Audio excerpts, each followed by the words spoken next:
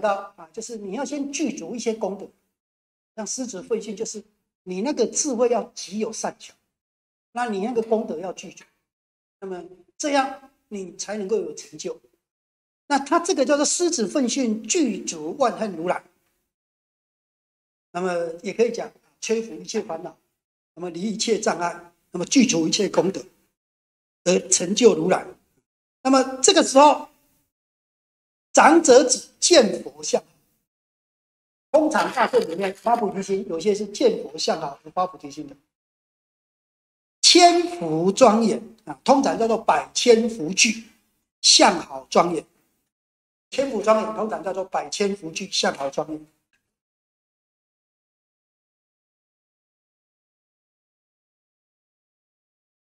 其实这个百跟千啊，那么它应该是形容词，但是它有说要百福跟千，百千福聚集聚啊，那么相好庄严。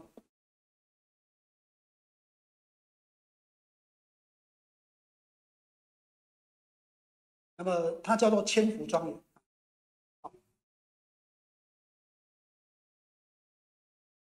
那么一问比佛，看见这个佛像啊。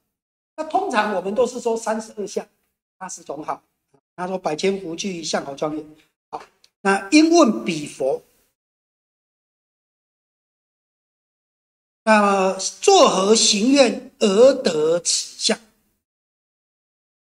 说你到底是怎么修行？所以你看大圣佛法基本上是这样啊，以这个佛菩萨为为为模范为典范，那么跟着这个佛菩萨修。那么你是怎么修行才可以修到这样？就像你看见一个企业家，哇，你是怎么做的啊？还可以这么有钱？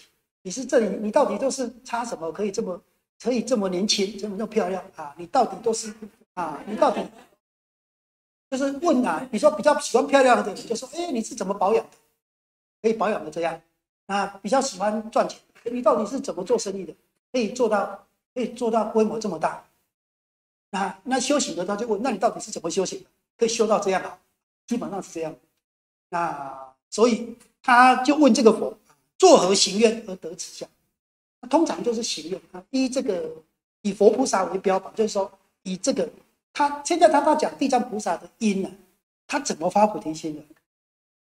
那么这个时候狮子奋训具足万恨如来，就跟这个长者子讲，就过去地藏菩萨的前身。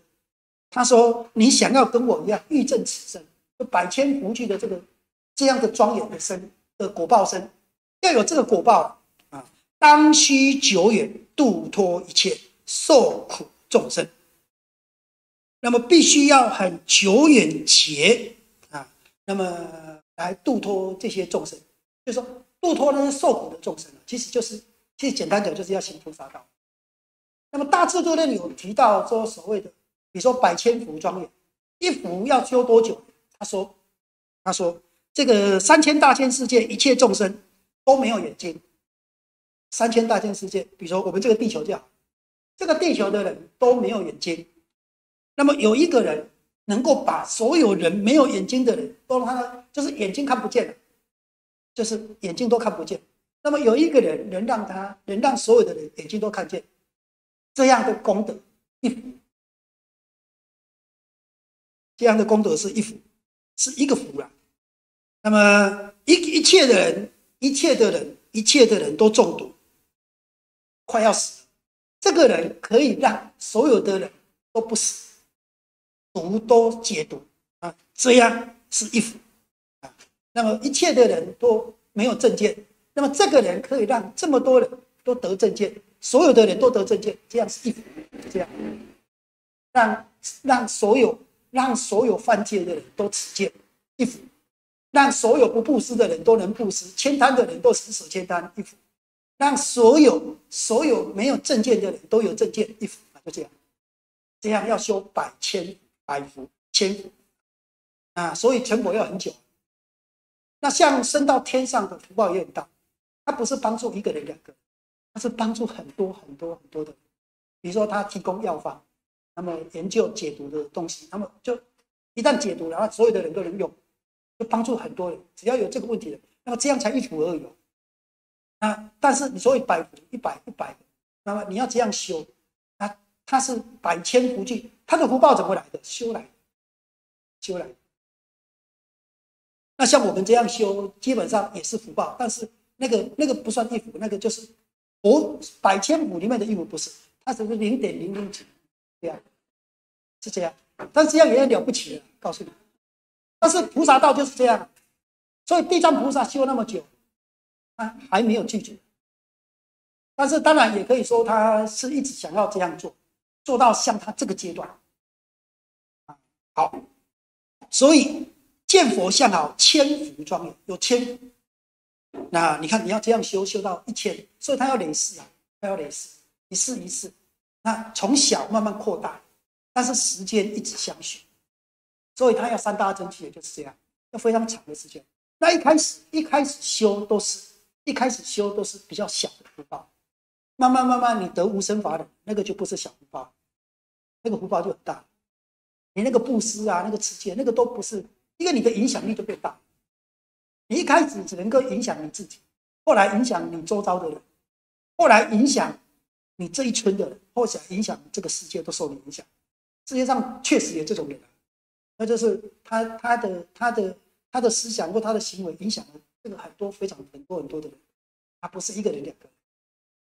像那个德雷莎，那么两个国家在打仗，那么派联合国派很多大使都劝不了，他走到中间，两个人都自动停不打仗，那个就厉害，他就有那个有那个力量，他可以影响，即使他不认识你，你也受他影响，那种就是影响非常广大。像佛陀也是这样。但是佛陀已经成佛，那像他这一种，他当然不是发菩提心的，但是他像他一种就是福报影响非常大，啊，所以基本上行菩萨道，他是发菩提心，然后又修这种，那么力量就很大，所以所以基本上要四摄六度四摄气就是这样，布施、持戒、忍辱，那么禅定，那么精进啊智慧，那么他这里讲。啊，他说你要度脱，必须要有这个愿心呐，度脱一切受苦的众生。文殊师利使长者子，那么就发应发愿，通常都是啊讲了之后他就发愿。那一般的人当然不可能这样讲就发愿，但是他因为因为他有有善根具足，所以他很容易这样听，他就那我也要这样做。他他不会说我要做那么久，如果我就会去问。啊，要做那么久，要做那么多，可不可以少一点？有没有快一点的？有没有？我们就会这样问。他他只问他，这个要怎么做？哦，要久远。你看，要久远，而且要度脱一切受苦众生。那如果是我们的，我们的世间心就会问：那到底是要度多少？对不对？要做多久？他不这样问。他你说这样做，我就这样做。好，那我愿意，我要这样做。所以他不一样。那么长者子就发愿给：好，我今尽未来际，不可拒绝，唯是最苦六道众生，广设方便，尽令解脱，而我自身方成道。所以他的重点不是说，他的重点不是说地狱不空是不成佛。他的重点是六道众生不解脱，我不成佛，我是第一而已。那你看，他说最苦的六道众生，六道众生只要有轮回就有苦啊，只是苦里面地狱最苦而已。只要有轮回，他就苦。当然到后面啊，主要是因为他最苦的众生最需要，就好像那个病情比较严重的，那么比较需要紧急处理，挂急诊。啊，那么马上处理。那但是你看，他说他发愿是发这个愿。那么我从现在一直到未来计不可计减啊，不管多远，路不管有多远，时间不管有多久，不管要做多少的事，我一定会做，一定会做。那么尽未来计到成佛为止。但是一般是这样，我今尽未来计一直到成佛。他又不这样发，我今尽未来际，那么度一切众生，度一切众生，那么这一切众生都成佛了，我才成佛。他是这样分，所以他是他是不是地狱不空？他是从这里讲，后面当然还有，他是这个众生，只要有一个众生还在受苦，就不成佛；只要有一个众生还在轮回，我就不受苦，我就不成佛。那就愿可大了。那你说你要发，我随喜我随喜。但是我自己没那么厉害，没没没那么厉害。这个如果真的要讲愿来讲，地藏菩萨真的是。真的是很敢发愿，但是他有那个魄力，所以他遇见的佛叫做狮子奋训，你有不畏啊！你看他没有，他根本就他根本就他根本就没有没有一点害怕。那么，所以广设方便，那你要有种种方便，就是要有什么？我们讲要善巧，要有智慧。所以般若道之后才是方便道。那你你要度你自己的烦恼，那很容易哦。你要度众生的烦恼，那就不容易了。你自己要去布施，那很容易；你要劝很多人都学着你布施，那也不容易了。那所以要广设方便，就善巧方便，要善巧。善巧一定是智慧，方便道，方便道是建立在般若道上面。所以你如果没有建立在般若道上面，没有建立在正见上面，你越发心哦，越糟糕。一盲引众嘛，将将入我坑，大家都听你的。因为你有魅力，你有魄力，你跟他们又有缘，结果你一个人带很多人走进邪坑里面，就很麻烦，就带着一群人都往错误的地方走，确实也有这样的，所以一定要先建立在正见上，不然你越发心，你影响力越大，对这个世界，对这个佛教是越糟糕啊，其实是这样，所以广设方便，尽令解脱。都让他离苦啊！都让他离苦。但是他为什么要这么讲？他为什么自己不解脱？他其实跟你讲，就是要你学他，就行菩萨道。大圣都行菩萨道，你不要只是求自己的解脱，要求一切众生的解脱。那其实所有的菩萨都发这个愿，所有的就四弘誓愿，众生无边誓愿度。众生是六道众生，不是只有地狱的众生，六道的众生，众生无边誓愿度。那么你要度众生，那么你自己必须，你自己必须要有大慈悲、大智慧。那么大智慧一定要烦恼无尽誓愿断，你要能断自己的烦恼，你才能断别人的烦恼。要不然，别人的烦恼会引发你自己。啊，那本来是要度他的，后来就变成要害他了，真的都会这样。那么，那么众生无边誓愿度，烦恼无尽誓愿断。那么你要断烦恼，要度众生，你都必须要有方法。说要法门无量誓愿学，因为你要度众生，这个众生适应这个，这个众生适应这个，众生适应这个，不同的方法适应不同的众生，这个必须要你的智慧，你的智慧要现前，必须要没有烦恼。所以法门无量誓愿学，然后你才能够佛道无上誓愿。通常它是也是这是那个次第的。好，所以广设方便，坚定解脱，而我自身方成佛道。如果从这里看，他的发愿就是有一众生在轮回就不成。是的，他不是地狱不空，是这个世界不空。那还有我所在的世界，还有一个还有一个众生在轮回在受苦，我就在受轮回的苦，我就不成佛。好，以是以是于彼佛前立施大愿，在这个狮子奋训具足万任如来面前。立了这个大愿，于今百千万亿，那由他，那由他是不可数、不可数、不可计啊，就是无数可，就是非常非常多、非常多啊。那么的不可缩解，那么最多就是不可说、不可缩解。那么上为菩萨，就现在还是菩萨，为什么？因为那些众生，狮子奋训，狮子奋训具足万能如来。当时的那些众生还有人在轮，他 他还不能成佛啊！就说他当时的这些众生还有人在轮回，所以他没有办法成，或者是说，只要只要他所在的国土有众生在轮回，他就不不不成佛啊！所以因为这样，他讲他的发菩提心，第一个是从狮子狮子奋训具足万身如来那边发菩提心，他有什么报你见到狮子，见到这个如来的相好发心。那么有些是因为众生的苦发现，有很多种。那佛这个如来跟他讲啊，这个狮子奉献具足万身如来跟他讲啊，你要修到这样，你必须久远劫，非常久远的度脱一切受苦的众生。那谁在受苦？只要轮回就会有苦。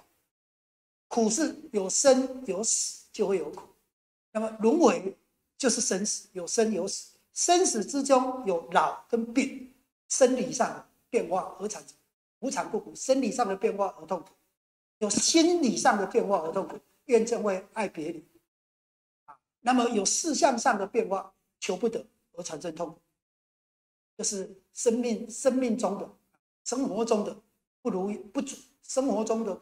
不足而产生痛苦，所以有求不得苦，啊，所以有生理的、心理的、生活的这些苦，那总称叫做八苦，啊，那都是因为这个五蕴生，它有生有死，有生有死，那所以六道只要有轮回就有苦，只要轮回就有苦，啊，那苦里面最苦的当然是地狱，后面就会讲到地狱了。那么幼鱼啊，这是第一个因，第一个因。又于过去不可思议阿僧祇劫，啊，看起来就没那么多了。那么最多的就是不可说不可说这些，然后就哪由他不可说啊？你看最前面是不可说不可说，那不可不可说劫以前，那么这个是最最久远的最久远的啊，是不可说不可说劫，这个是最久远的。然后后来就是在最前面，后来百千万亿那由他不可说。就比不可说不可说更更前面一点的了啊，那么他就开始啊，所以他从从那个时候到现在一直在一直在行菩萨道，那么他又说有过去不可思议阿僧祇劫直是有佛，这个在讲到不可思议阿僧祇又比那由他不可说劫以前更早一点，那不是更晚一点，所以他你看他讲到三个时间。不可说不可说解啊，那由他不可说解。那么不可思议阿僧祇劫，那么就是好。那么最久远的是在见他见到狮子奋训具足万能如来的时候，他发了菩提心，发了大愿，要度脱一切的众生，度脱一切轮回的众生。然后第二个，他又在他又在不可思议阿僧祇劫，就是过来不久远久远劫再过来。啊，有一个不可思议阿僧祇姐姐，他又见到了觉华定自在王如来。他这个，他这个就就另外一个因缘啊，就是地藏菩萨最早是见狮子奋训具足万能如来，发了菩提心，然后在觉华定自在王如来这个时候，她是一个婆罗门女，她是一个婆罗门女。好，那么现在来看她的第二个因。第一个因是发菩提心是在狮子具奋狮子奋训具足万能如来，第二个是在是在这个婆罗门女在觉华定王觉华定自在王如来啊。那么这个这个觉花，我们说这个名字觉花，觉花就是觉悟的果报啊，它是觉悟的花。那么这个。形容一个如来，就是其实就是他的智慧啊。那么定、觉华跟定，那么其实觉跟定其实就是定跟慧啊，自在啊，最自在自在，就是说他的定慧都很自在，就是说他都就是佛基本上就是形容佛的，那一定是定位具足的，而且他定位具足中最厉害的。那么你像神通第一的修定最厉害的啊，目犍连。啊，那么智慧第一的舍利佛，但是舍利佛跟目犍连加起来都不如佛，所以他是自在王。好，那么比佛寿命四百千万亿阿僧祇劫，那么百千万亿，那么如果是这样来讲，那么通常啊，像他这个是所谓的数四百千万亿，是。百千万亿，通常啊，十十的倍数，百乘以十是千，千乘以十是万，万乘以十是亿，所以通常一亿是十万。那么如果是这样的话，那么有些这个百千万有可能就是百千万亿啊，那么也有可能是百千万亿，就十亿、四亿。那么我们不晓得它是什么，但是它有可能有这样啊，就指四亿啊。比如说过此十万亿佛土，那十万亿就是一亿，十万为一亿嘛，其实就会过一亿佛土。那么有些是因为佛法的形容词就是这样，比如说三千大千、小千、中千、大千，那么三千，三千是形容词，那其实这是一个大千。三千大千世界就是一个大千世界，比如说六群比丘，六群比丘就是六人一群，其实就是一群而已，其实就是一群，一群有六人，那么哪有十七群的？一群六人的比丘就是六人一群的比丘。那佛法里面有这一些，就是他的他们的语法不太跟我们不太一样。那像这个像这个四百千万亿，也有可能是指只是指只是指四亿啊。那么四亿是四十万，那么是这个万是十个千，千是十个百，也有可能的，但我不知道，但也有可能就是百千万亿。那这个亿跟我们的亿不一样，亿是十万的意思，大部分。但是有一些在在佛在佛经里面，亿有可能是十万，有可能是百万，有可能是千万，有可能是万万。我们现在的亿是万万，我们现在亿是万万，但是以前的亿有可能是十万。那比如说，首卫城有九亿人，九十万人，那基本上基本上是这样。啊，这个这个是数而已啊，这这不是重点。那，不过我们就顺带讲一下。好，他说啊，这个比佛寿命四百千万亿阿僧祇劫，如果有一个阿僧祇劫，已经是。一个阿僧祇劫已经是不可数了啊！啊，你看成佛，成佛是三大阿僧祇劫啊，他的寿命有四百千万亿阿僧祇劫啊。那么，所以啊，那么这里啊，当然是一个形容词而已啦，就非常非常的长。那通常佛的寿命，如果从过去七佛来说，从过去七佛经典里面记载的过去七佛来说，那么。最多的就是，因为他身为人，人寿命最长，寿命最长，八万四千岁，不会超过八万四千。啊，那最短的就是释迦佛的一百岁，再上来就是迦摄佛的万岁。啊，两万岁以下的就可能一万岁以下的，基本上可能就五浊恶世。我想，那一百岁是五浊恶世。那七佛如来。只有释迦佛是在一百岁，其他都是两万岁开始起跳，那么最多是八万四千岁。像弥勒佛再来的时候也是八万四千岁，那人人寿没有超过八万四千岁，天就可以。天如果是非常非常小，八万大劫，八万大劫。那他这个是在说寿命非常长远。当然，如果说佛的寿命里面，那么形容最多的，那么大概就是比如说阿弥陀佛，他叫做无量寿。但是无量寿。它也是个形容词，因为阿弥陀佛也会入涅槃，所以它也是个形容词。好，那我们往底下看，他说相法之中有一婆罗门女，啊，是个相法，相法的观念，阿含经跟大圣佛法讲的是不一样的。原来的相法就是。相似佛法叫做相法，现在的相法不是这样的，相法，相法，阿含经的说法跟大圣的说法、大圣经典的说法不太一样。阿含经的说法，他把把法分为正法跟相法。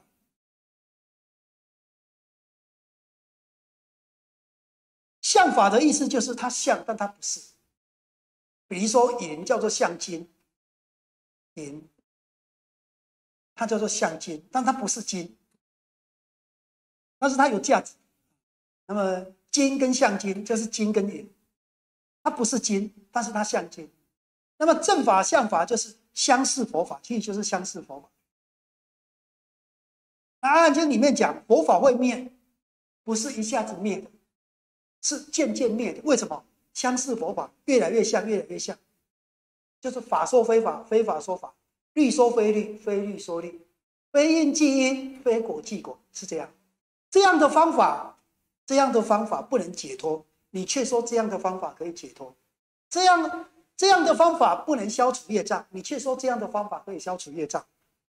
这种境界并不是，并不是解脱的境界，你却说这种境界是解脱的境界。这样的道理不是佛说的，你却说这样的道理是佛说的。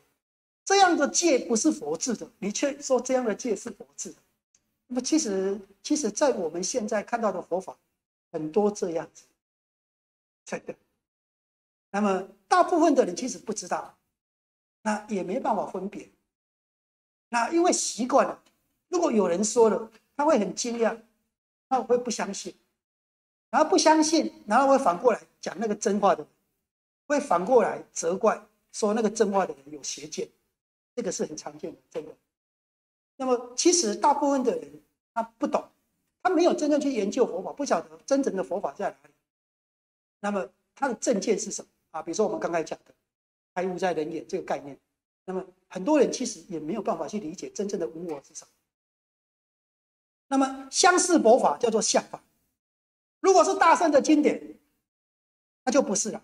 正法、相法、末法都是佛法。那么只是正法，比如正法就是五百年。一般的我们以前看的观念，正法就是五百年。那么这个时候修行的人，大部分能得解脱；相法就没办法，只能得禅定；那末法就没有办法修行啊。所以后来就有末法修行，末法一人修行，汉于得道，唯一念佛得度生死这种观念出现。那么其实佛法里面没有所谓的法就是法，法法不会衰变，衰变才会有啊。这个这个起过了几百年，它就变坏。啊，正法没有保存期限，啊，你拿了《金刚经》说，啊，这个使用期限一百年，一百年过后这部经就没有功德了，哪有可能这样？一百年过后，这不照这部经修行就不能得解脱了？这个这个《阿含经》使用期限五百年，哪有可能这样？我们的观念是这样啊，啊，已经过，已经佛陀过五百年，这是末法时期了，所以你怎么修也不能得解脱了。正法没有使用期限，只有使用得当不得当而已。那所以大部分他正法，那么相法就是仅存表象，但是还是佛法，仅存表象。那么末法就是只有知末了，但是还是佛法，就是功效没有了。就好像这个药，这个要正新鲜的时候，它的它的治疗率百分之百到百分之七十。相法剩下百分之五十到百分之三十，末法只剩下百分之十，类似像这样。那这个是不同的概念。阿含经里面的相法就是相似佛法，相法兴盛的时候，正法就渐渐沉默，劣币驱逐良币，就变成是这样。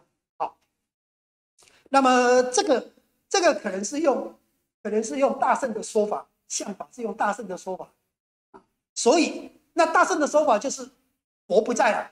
仅有存佛像，这个也是相法。那法不在了，只剩下经典啊，类似像这样。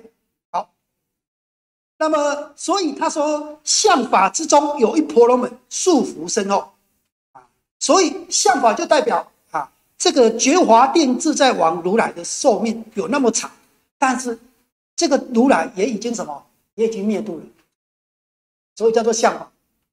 所以你会看到他后面。所以他有他的觉华定之后，你的相只剩下相。好，那么由于婆罗门女束缚深厚啊，过去啊，过去福报啊非常的深厚，就是修了很多福。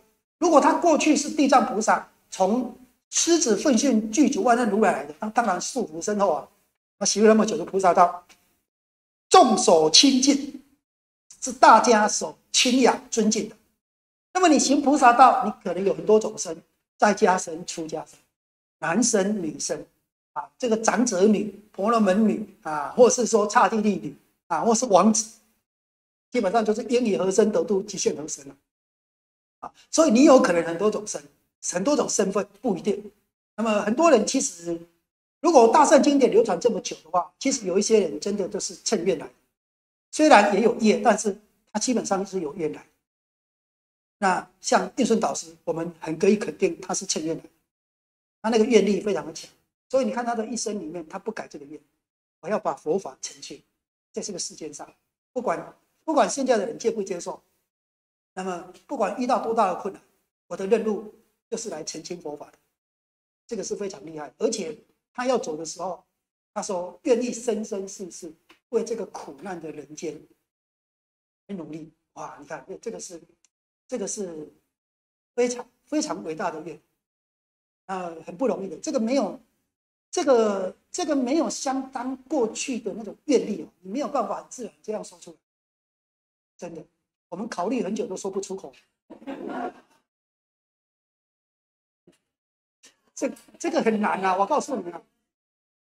所以啊，所以啊，问题就在这里啊。所以这个没有相当的愿力。基它基本上就这样嘛，所以因为这样佛法要久住，就是要其实要靠菩萨，所以大家要发心这个，但是渐渐渐渐渐成就。然后他他为什么跟你讲这个？就是就是要你学他发心嘛，就是要你学他发心。好，那么所以行住坐卧诸天护卫护，那么你是称念啊，你有福报，你过去这么多善业，它有一个现象。就是很多天人，因为你下来很多天人，其实你过去也升过天，那么或是说你，除非你生生世世发愿在人间，但是你这个力量，你会，因为你这个力量也会感动这些天。那么，因为其实你的福报比他大，但是你不胜去天上，就好像你可以在最有名、最高的大学，但是你到乡下去教会一样，那一个很厉害的。那，所以你会感动到很多天人。通常这种趁业来，那趁业来的。都会有天人守护，通常啊，善业非常重。那如果恶业非常重的人，就很多鬼，很多鬼等着要找你报仇。这个就不一样。那因为他度的很多人，为什么会诸天卫护呢？我告诉你，为什么这些人会诸天卫护？当然，第一个他的善业感召，他也不是无缘无故的。你看，为什么像这个婆罗门女，她也不是出家啊，那其实跟出家不一定有关系的啊，但是她是行菩萨道啊。这个婆罗门女过去，过去是现在是觉华定自在王如来的时候，觉华定自在王如来的时候，那过去是狮子奋训，狮子奋训具具足万能如来，那么他这个时间已经修很多菩萨道，已经行菩萨道。行菩萨道的中间，啊，他六道里面，他六道，他的愿就是度六道的众生。那么六道的众生里面，有些人因为他升天，人天天人；那么有些人有些要堕恶道的，不让他堕恶道，升人天。基本上就这样，就是让这些人不堕三恶道。已经堕三恶道的，想办法让他让他再来做人的时候或怎么样的时候啊，那么让他不堕三恶道。那么将要堕三恶道，让他不堕三恶道。那么已经堕三恶道的，等到他再来，因为他还会再来做人升天，这个时候利益他，让他不再堕三恶道。那这样的，那么所以他基本上他所帮助的人，要不是做人就升天。那很多升天的，很多升天的，升到天上，天上是化身。经典讲，经典讲，升到天上的人，第一个会想，因为他是化身的，那他第一个升的，他会。忽然之间就蹦出来，化身的，所以忽然间就出现，他不是他不是从受精卵开始这样变变的，不是，他忽然间就化现。那么看不同的天，五岁、六岁、七岁、八岁、九岁的小孩，大概这样，他也会长大，但是他不会老。天人会长大，但不会老。那所以他开始慢慢慢慢慢，他他一出现的时候，他第一个想的就是这里是哪里？这里是刀立天啊，第几天？刀立天有三十三天。刀立天第五天啊，举例啊，好，那他是他有可能是天子，也可能是天女，男的女的，天人有男女的，那么那么男的女的都可以生，他是化身的，所以男的女的都可以生。那么你从男的旁边出来，你就认这个人为你的父亲，为你的母亲啊，是这样。那么他他生出来的时候，第一个先，哎，这里是哪里？哦，这里是倒立天第五天。好，比如说我只是举例了啊，比如说第五天叫做中道天啊，啊，生在中道天啊。好，那中道天里面，哎，这里是中道天啊，我为什么升到这里？哦，我是因为修十善业升到这里。那我为什么会修十善业？哦，啊，原来原来原来是那个慧文啊告诉我啊，那让我修十善业。好，但是他升天之后，他会天人有一个特性叫做感恩，感恩图报，滴水之恩涌泉以报，这个是天人的个性。那么他也知道谁伤害过他，他说他不会报仇。那鬼道就不一样，鬼道他有鬼通，他也知道谁伤害他，谁帮助他。他比较在意的就是谁伤害他，一定要报仇，有有仇必报，那就是因为这样才会堕入鬼道，就是有仇要必报。但是天人的个性是有恩必报，有仇不报，所以他基本上，那他升到天上，他看见哎，这些人帮助我升天的，所以他在天上，他就会时不时照照顾那些，他会拥护那些。就我们人间也是这样啊，我很穷，是这个人提拔我。所以，当我有力量的时候，我会不会帮帮帮助他？即使他没有困难，我也想办法要帮助他，想办法要回报他。何况他有困难，对不对？一定是这样的。所以，他在这个时间里面，他在这个时间里面，让很多人升天。这些天人都是因为他升天的，他就会拥护他。通常是这样。所以，比如说啊，比如说了啊，那么，那么我们帮助了很多人升天。告诉他要持戒，要修善，然后他升天了。他在天上，因为他时间很长，他天上的时间，比如说他升天的时间两千年啊，两千年。那两千年，我们做人一世啊，比如说一百岁，你每次都活到一百岁，他可以照顾你二十次，是吧？他每次都看着你，看着你，帮助你要有危险的时候，他帮你化解。所以有很多人无形中、无形中那个无形中那个困难就迎刃而解，或者他没有困难。或者他有困难会迎刃而解，或者他很容易就找到医生，生了病很容易找到医生，一下就把他医好。你不要看这个，这个有些都是叫做鬼使神差，你知道吗？真的真的，为什么？为什么有些人都是鬼使，有些人是神差？鬼使就明明好的，把你弄到不好的了，越弄越糟糕啊，对不对？神差就不是啊，啊，那你看为什么差别在这里？跟你的因缘业跟缘有关系，其实是这样，所以要广结善缘。不要结恶缘，就是这样。啊，很多人不了解这个道理。那你看，他就一直，那你有一个他帮助你，有十个就十个帮助你，有一千个一千个都会帮助。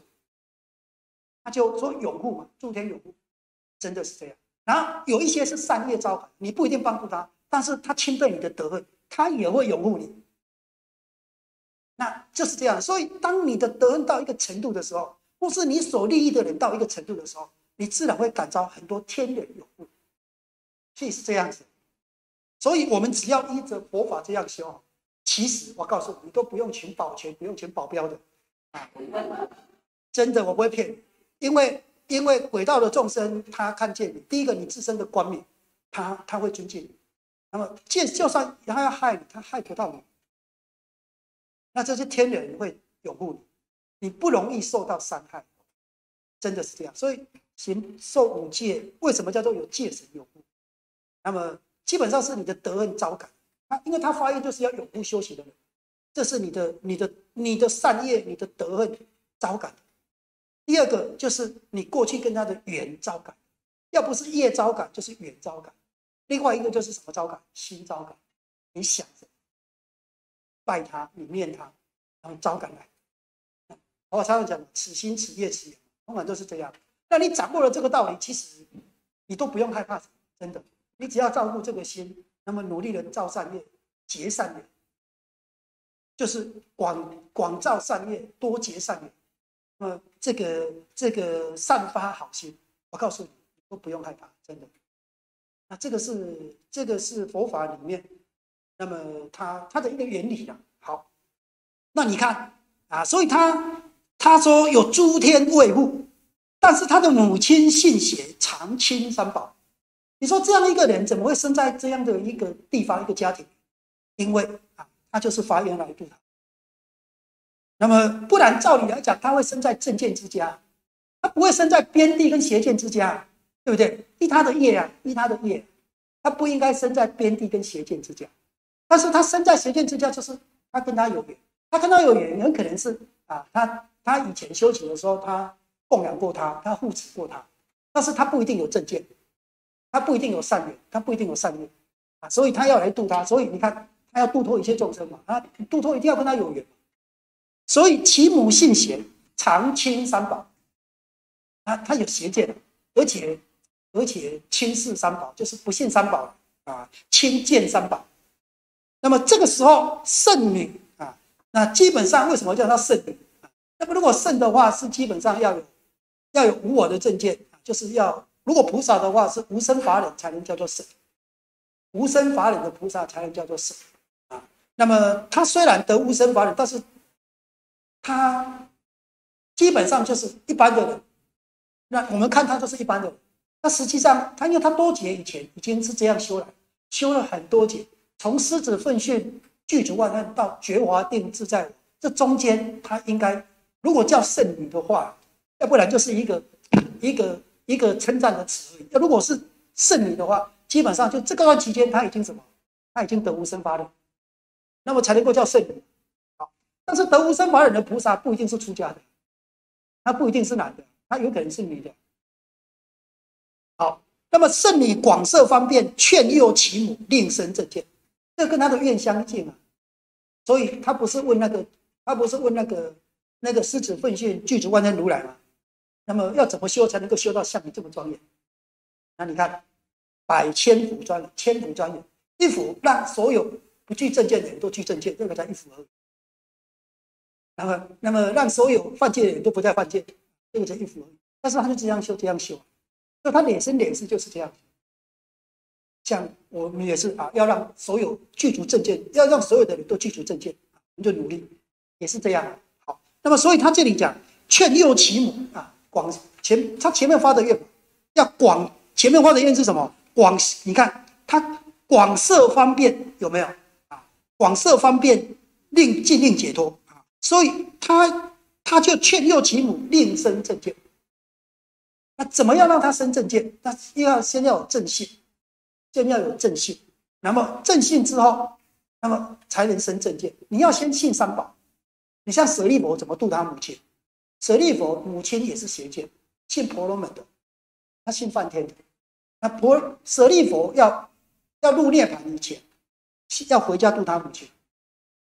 他他母亲很厉害啊，婆罗门女啊，生了七个孩子，三男四女的样子，还是四男三女，四男三女的样子，四个男的，三个女的。七个都证阿罗汉，不厉害，不厉害，七个都证阿罗汉。那么舍利佛要入涅槃之前，他要回去度他母亲，先让他母亲信三宝，所以他就说我要入涅槃。那大家一直知道他入涅槃，所有的天人国王知道舍知道舍利佛回到家。如果今天舍利佛还在，如果他要回家，他的家在中道的话，那么我告诉你，连蔡英文啊，连连什么都会来。一定的嘛，对不对？那么国王来的是谁了？天人来，一定的，我告诉你，一定的。那么所以基本上，那他就先你，因为他在，因为他出家就没有回去了，所以他的母亲记忆就是他就是我的孩子，他也不怎么尊敬他，那个是他的孩子啊，那没什么，没什么特别。可是，在外面人看起来，那是不一样。天人是非常尊，国王是非常尊重他。知道舍利弗回到家，哇，大家都来顶礼。知道舍利弗要入涅槃，而且你不来以后看不到了。你不来顶礼，你顶礼一次你就多一次福报啊！告诉你，如果是我，我用爬的我都爬去。我告诉你，真的，因为结那个缘不简单呢。你要结一次那个法缘都不简单啊！我告诉你。那么，所以，所以很多人都来，一些长者、大长者、国王，后来千人都来。他的母亲，因为那么多人，他没看过那么多很多人来，那这些大的路出现了，旁边都有很多护卫啊，所以他都会害怕，躲到旁边看。看完了，人都走了，他才问：这些人怎么都对你那么恭敬？他要顶礼他，你说那么恭敬，那么他都跟他讲一句话，他他比如说，他说：“妈妈，我不厉害，我的师傅比我厉害。”他讲这句话。所以前的比丘他们皈依。因为他皈依，他说：“你不是皈依我，你是皈依佛。也一样。那我没有这么厉害，我的我的师傅比我还厉害。哦，你的师傅这么厉害，你这样已经很厉害了，你师傅。后来那个天人一直讲，天人出来都放光了，他他也是看啊，这些是什么人？为什么身体那么大，光明自带光明的啊？他说这个是什么天？什么天人啊？连天人也要顶礼你，你怎么这么厉害？我不厉害，我的师傅比我厉害。到最后梵天也下来，梵天就是他拜的。最后梵天下来说：“那你刚才那个人，刚才那个是又是什么神？怎么跟其他的神不一样？啊，那个好厉害，那个光明好大。说那个就是你拜的梵天啊？啊，连我拜的神都要顶礼你哦。哇，你怎么这么厉害？我不厉害，我的师傅比我厉害。他开始对佛升起了无上的信心。那你的你的师傅到底是怎么样？他开始跟他讲，你讲讲一讲。”那你师傅都是怎么修的？可以讲讲。到他他的母亲也怎么样？也解脱。先让他升起信心，信心对三宝升起信心。他只是对舍利佛升起信心而已，开始也没有啊。后来对舍利佛升起信心，然后开始对佛升起信心，然后对佛升起信心，开始对法升起信心，就这样。那么有正信，那么再有正见，就依正见、正思维怎么样有解脱。就是这样，那专注。你看他这个就是广设方便。那他是人，而且是善善男子、善女。那他的婆罗门女的母亲不是，他是有邪见的。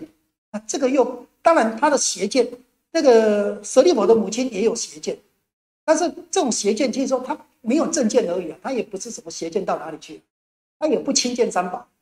但是不，这个这个婆罗门女的母亲是亲见三宝，我们说这个是邪见。那舍利弗的母亲，当然她也没有佛法的正见，我们说她是邪见，但基本上我们可以说她没有正见而已，不具正见。好，所以而此女，这个婆罗门女的母亲，即使即使这个婆罗门千方百计的广设方便来告诉他母亲三宝的殊胜，他的母亲也不全信，也不是完全相信的人。那么不久命中，后来这个母亲就死掉了。命中啊，魂神堕在无间地狱，就是后来死掉，魂神是翻译的问题了。一般我们讲，就是我们就是他的意识啊，那就是他的这后来堕到无间地狱去。那我们如果从这边看，如果他对于佛法没有全信，会堕无间地狱吗？会你不信佛法都无间地狱啊？那佛教徒之外的全部要堕无间地狱了，对不对？哪有可能？不可能。但是他通常是主要在亲见三宝。那那么亲见三宝，看是他是怎么样亲见。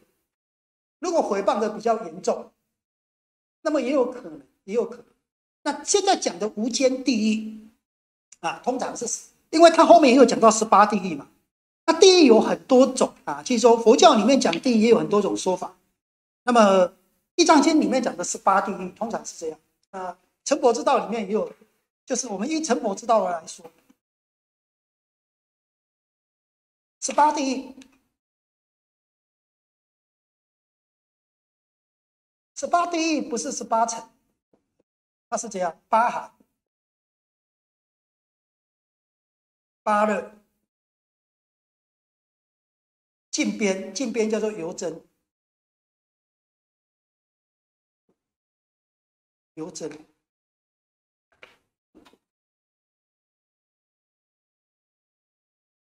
那么孤独，孤独地狱。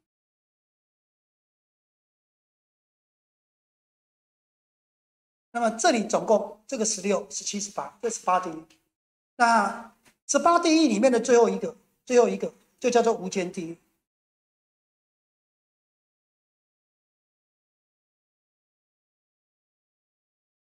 那么近边地狱有四个四种，近边地狱有四个，然后四边的地狱。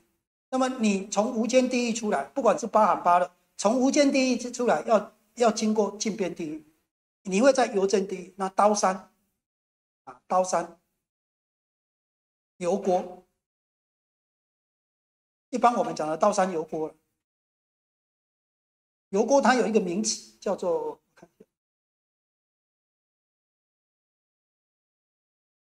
叫做灰河，灰河第一。灰是火灰，火灰，那个那个整个都是火我的我的这个我的这个地狱啊。然后一个就是死坑地狱，刀山油锅，火山刀山有四个地狱，刀山油锅，那么死坑地狱都是死。然后这个是火山，刀山火山。然后一般我们叫刀山油锅，刀山刀山火山死坑油锅，那这两个是山，这两个是啊一个坑啊。啊，通常这是十八地狱。那么你只要下了大地狱，下了大地狱，那么你就会经过经过大地狱出来，大地狱出来会经过油真地狱，就是禁边地狱。那么那禁边地狱要四个地狱都要。这边完了会这边，这边完了会这边，这边完了这边，完了之后出来，啊，那么会到小地狱，又有十六小地狱。那小地狱出来，小地狱出来啊，会经过畜生道，畜生道再出来就经过鬼道，因为它有余报，这个是这个是果报，这个地狱是果报，这个油真地狱都是果报，这个都是果报，那果报渐次。然后之后也还有余报，啊，还会经过畜生道、鬼道，鬼道再上来做人的时候，如果杀生重，还会短命多病，还一样会，啊，如果是偷盗重，还会贫穷卑贱，啊，它还有余报。那么基本上是这样，啊，那这个是所谓的十八地狱，那无间地狱基本上在八热地狱里面的最底下，啊，那之所以讲它无间，是它。它里面的人，一个也满啊，一千人也满，一万人也满。那么他受苦的次数，就是受苦没有间断。通常我们的苦都有间断的，通常我们的苦都有停不停。比如说我们痛，痛一下子不痛，然后稍舒缓的时候，它没有，它一直痛，一直痛，一直痛，没有舒缓的时候，没有减少的时候，这个叫无间，苦没有间断的啊。那一般苦会有间断啊，比如说你。你做轨道五百年，五百年完了啊，那么五百年也不是饿，也不是一直饿，当然饿，但是它也有可能比较没那么饿，或是类似像这样，他他有他的苦没有间断，就是他一直的苦，一直的苦，他死了再活，死了再活，死了再活。通常六道众生除了地狱之外，都是怕死，即使是畜生到、鬼道也怕死，那么只有地狱怕不死。啊，那死了，因为他死了，这样他其实没有死，他死了再活过来，千生千死，千死千生，只有地狱怕不死，其他的都怕死。那么基本上是这样。那这个是十八地狱，那通过禁边地狱，然后再到畜生道，到轨道，再人道，那么不太有可能，不太有可能。那也有可能畜生道直接做人道，啊，但是啊也有可能畜生道做轨道，然后再做人道。就畜生道可以直接做人道是可以的，但是没有办法，基本上没有办法地狱直接做做人，因为它还有余报，那个余报还很重。那么如果是无间地狱的话，那个是大地狱。那有一些人不一定堕大地狱，有些人堕小地狱，堕小地狱。那堕小地狱的话，他就没有经过这些。那比较重的忤逆十二才会堕大地狱，啊，比较重的罪，基本上才会堕大地狱。那有些做堕小地狱而已。那小地狱也是很苦，那小地狱出来还是要多过畜生道或是鬼道，那么通常啊，通过畜生道或鬼道，然后才做人的，基本上是这样的。那像《地藏经》里面这个婆罗门女，那么她堕无间地狱，她没有讲她造什么业。如果她只是轻贱三宝的业，那还要看她是怎么个轻贱吧。啊，那么堕无间地狱一般来说，忤逆十恶才会堕无间地狱，忤逆十恶。那么你诽谤大乘，或是诽谤到很严重，破和而生，啊，那么才有可能。要不然无间地狱也不是你想去就去的，也不是那么容易去的。老实讲，那么我们来看题啊，那个八寒八热有没有层次问题？就是说，呃，一定要经过八寒才会八热，还是说我经过八热是不一样，就没有层次问题，它是平行的就对了。哦，好，那你有可能在八寒，有可能在八热。嗯哼哼，那无间啊，好，那无间地狱八寒没有吗？没有，哦，八寒没有。它一般无间地狱是在八热地狱里面的最后一个第八个。好好，八寒地狱里面没有无间地狱。嗯，但是当然有很多种说法。老实讲，无间地狱在在佛法里面也有很多种说法。那我们现在是依成佛之道来说了啊。如果你要把所有的经典里面的地狱的不同的说法都说出来，哦，那就要讲讲很久了。因为大因为大家可能描述的不太一样，说的不太一样。包括天界到底有几天，其实。老实讲，各个经典讲的也不太一样。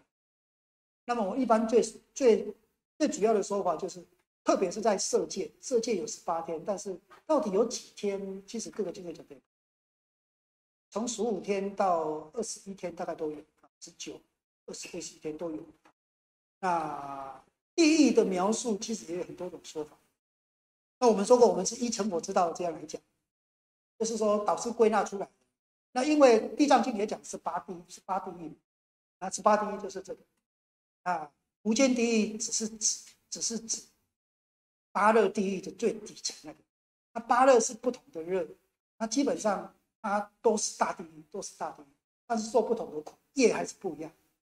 那并不会说你八你八寒完了去受八热，八热完了去受八寒，又不是在洗三温暖。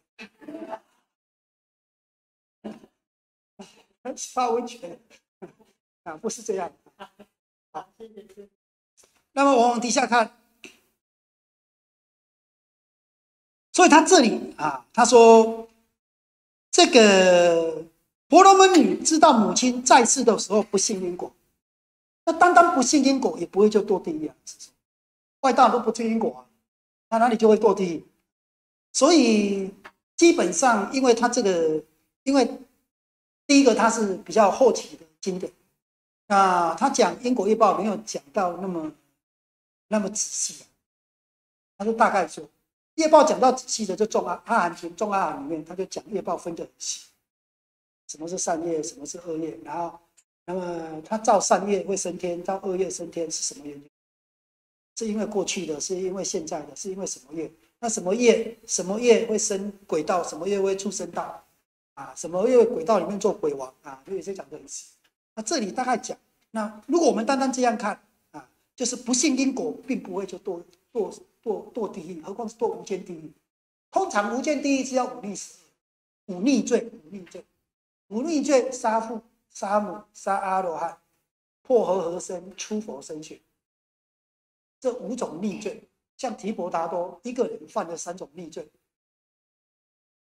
提婆达多破和合身出佛身血，啊，那么杀阿罗汉，他杀死了这莲花色比丘尼，莲花色比丘尼是阿罗汉，杀阿罗汉破和合身出佛身血，一个人犯了三个逆罪，他才堕堕地狱啊，堕无间地狱，啊，气是这样，啊，所以他一般来讲啊，说这个不信因果，那么既当随业必生恶趣，他会升到恶道。其实不信因果也不一定会升恶道。如果他行善的话，因为他不信果，你像很多很多很多外道啊，天主教的、基督教的，其实他只要行善业，他就会升天。即使他不信因果，因为因果是我们造这个因草这个果，他们是因为信上帝，那上帝叫他做善，他就做善。他并不是因为善业升天，他是因为听上帝的话升天。但是他实际上还做了善业。但是他并不相信有因果，但是他也可以升天的，因为善业能升天，信梵天啊，信妈祖啦，啊，信信三太子啊，信济公啊，不管。那么你，但是你因为他，他告诉你不可以造恶，要布施，要怎么样，你是要照他的意思做，那并不是你自己做就有，而是你听他的话，然后他保佑你升天。那么他他基本上也不信因果。所以是基本上是一业随业是随业没有错，因为人要往生不要去哪里，随业随众，看你的众业随喜随念啊是这样的。所以单单不信因果，并不会就堕地狱，何况是堕无间地狱，并不会啊。这我们要说。那么岁迈家长，广求香花及诸工具。就把他的家卖，就是这个家是他妈妈留下来，就把他家卖，然后去拿这个香跟花，集诸供具。通常之前供佛都是四世供养，那如果是佛像、大圣佛法，基本上都是啊香花曼这种种啊，就有一些音乐啦、这些珠宝啦这些供养。那如果是释迦佛的时代，那个佛供养其实是四世供养。饮食、衣服、卧具跟医药，有这四种。当然，有时候他们会上香，就燃香、散花了。那么供养也有，香花供养是，其实佛释迦佛时代就有。好，那么一仙佛塔寺大兴供养，仙佛就是过去佛，所以它就是相法，相法就是佛不在了，只有佛像。那么。那么佛没有说法啊，留下经典，所以叫做相法。所以我们说他说的相法是大圣说的相法。那么于仙佛塔是，那么过去佛过去佛，那么涅槃之后，就佛涅槃之后，那么有他的遗骨，那么入塔，那么其塔供养，啊叫做塔寺。那所以啊，我们叫做舍利塔。那在佛的这个舍利塔，那么供养。因为你佛不在了嘛，入涅槃，这个觉华殿自在王如来已经不在了，已经入涅槃。啊，所以他就供养这个佛像，有人把这个佛啊，那么其他供养，所以他都把他妈妈留下来的房子卖，他去供养这个佛，就是要跟他，意思就是要跟这个他的，让他妈妈跟这个三宝结法结善缘。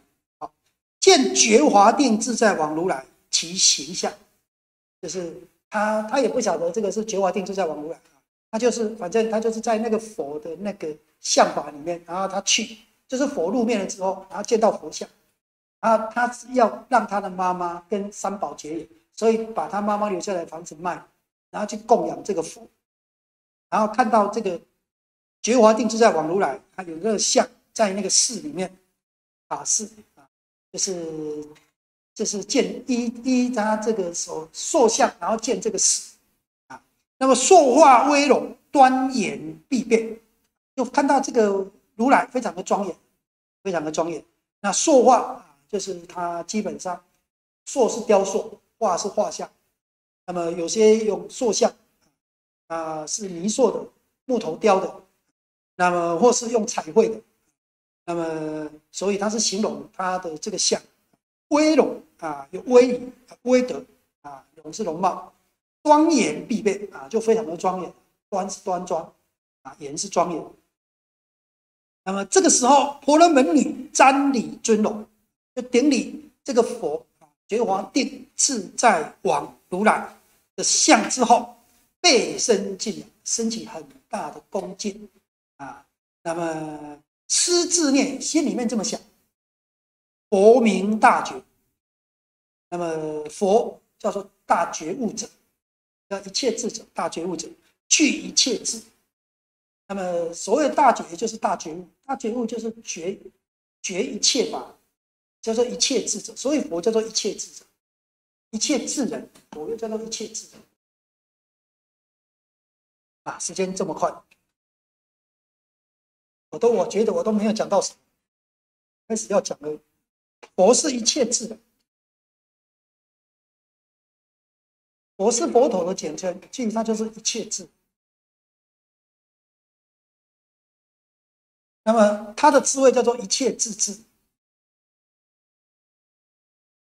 基本上是这样。那么就是觉一切法，知一切法，啊，无一法不知啊。那基本上是这样。那我们先把这个看完啊。那所以具一切智，若在世时。如果佛还在世的时候，啊，那么我我的母亲，因为他母亲命中了嘛，我来问佛。如果佛还在，那么我来问佛，那么一定佛一定会跟我讲，因为他一切智者，他一定知道他的母亲到哪里去，所以他是在讲说，假设佛还在世，因为现在佛已经入灭了嘛，相法了，然后所以佛只剩下佛像，那么所以他想心里面在想，如果佛还在世，那么我来问佛，那么。必定，因为他知道他母亲会依他的业会堕到不好的地方，但是不知道不好在不好的地方是在哪里。啊，不好的地方有有有很多啊啊，那么三恶道都不好，但是他不他母亲他堕到哪一道，在哪里？即使在地狱也很多种地狱啊，不同的地狱啊，所以他心里面在想：假设这佛这么庄严，是一切智者，他一定知道一切吧？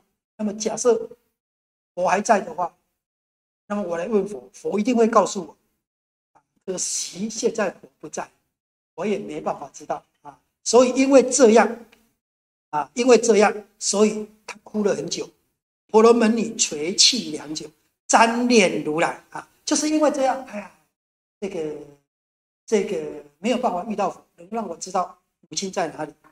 这个时候，这个时候空中有一个声音跟他讲：“那么圣女正在哭泣的这位这位圣女，你不要悲哀。我今天跟你讲，你母亲到底是去了哪里。”那这个婆罗门女就因为忽然有声音跟他讲，她就会讲说啊，那么到底因为只有听到声音，到底是哪一方的这个大德啊？那么它叫做神德，是哪一方的这一些的这一些的神圣的大德？那么让我啊心没有忧虑，宽我的忧虑，让我宽心而没有忧虑啊，因为他他的忧虑就是什么？不知道他母亲到底是到哪里。那么他要帮助他都帮不了，不知道去哪里帮他。那么他说啊，我我从啊母亲往生以来，师母以来，昼夜依恋，非常孝顺啊，所以地上菩萨是孝敬，是这样啊，无处可问，知母生见啊，不知道我母亲生在哪一道，生在哪里，界就是不知道哪一个范围，不知道生在哪里。